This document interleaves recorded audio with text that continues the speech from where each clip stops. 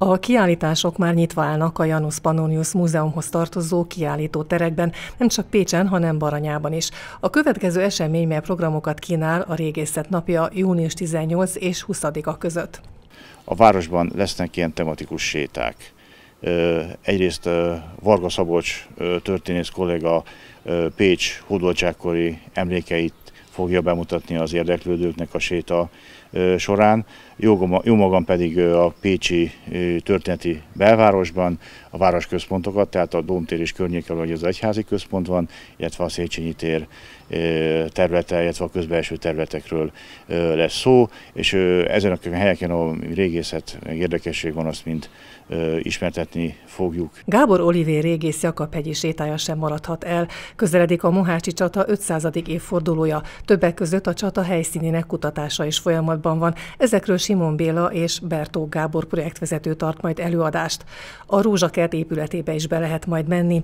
Jön a múzeumok éjszakája. 13 helyszínen 30 programmal várja valamennyi korosztályból az érdeklődőket.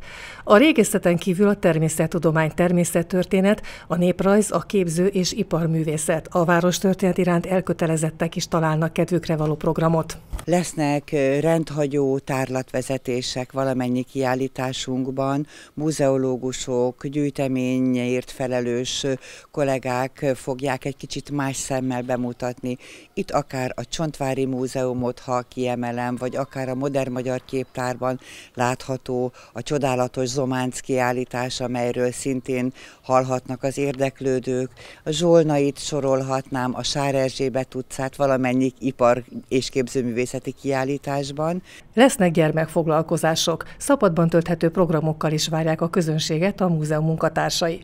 A Szent Iváni tűzugrás sem maradhat el, ezt a Néprajzi Múzeumban tartják este 9-kor. A Málenki robottal kapcsolatos kiállítás is megnyílik a Vasvári házban Pécsen. A jegyek ára pozitív irányba változott, ezek másnapra is érvényesek. A programok védettségi igazolványa látogathatók. A programokról bővebb információ a jpm.hu honlapján olvasható.